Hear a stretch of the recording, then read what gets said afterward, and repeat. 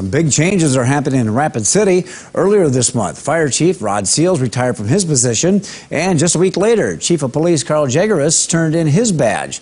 Interim leaders have been appointed to both positions as the city looks for permanent replacements.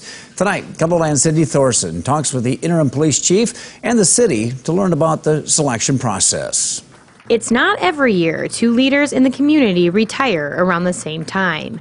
Nick Stroot is the Human Resource Director for Rapid City and says they have a selection process that will take about 60 days. What we're doing now is we're soliciting for internal candidates. We decided at appropriate rank where we would consider internal candidates, and so we've put out a request for letters of interest and resumes from those internal candidates. Interim Chief Don Hedrick has served 18 years at the Rapid City Police Department in several positions including detective, patrol sergeant, patrol lieutenant, special operations lieutenant, captain of the department's support services division, and assistant chief. Working in a lot of different areas of the department helps with decision making because you have an understanding of doing the job yourself firsthand and definitely it plays a role when you want to make positive changes that you're you've had that experience under your belt.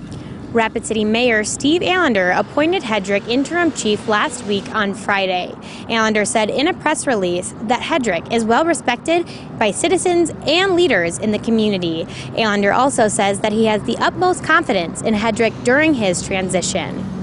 One thing that will continue to be a focus now and probably forevermore is transparency. And I think it's so important in times, especially right now, uh, with police departments being open and sharing what we can. In Rapid City, Sydney Thorson, KELOLAND News.